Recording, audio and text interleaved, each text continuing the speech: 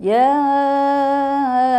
أيها الذين آمنوا كتب عليكم الصيام كما كتب على الذين من قبلكم لعلكم تتقون.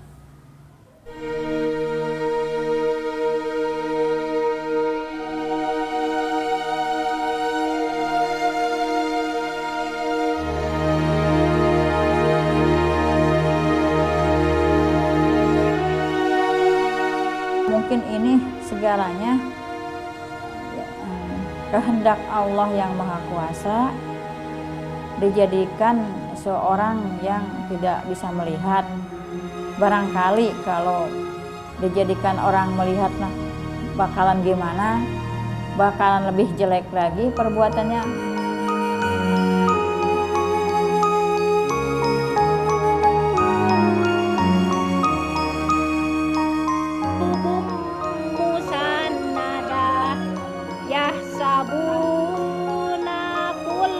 belajar baca Al-Quran dari sekarang.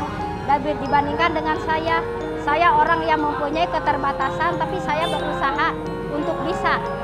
Saya rasa yang yang melihat eh, lebih pandai daripada saya yang mempunyai keterbatasan